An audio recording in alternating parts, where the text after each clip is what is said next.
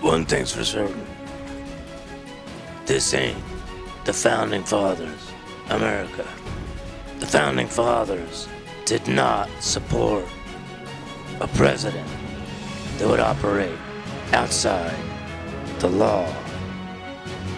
The IRS intimidating and attacking political opponents. Well, that's what a fascist country would do. The current president is dictating laws without congressional approval. He's making laws, he's changing laws, he's making decree. Well, that's how a fascist leader would be. That would be a dictator.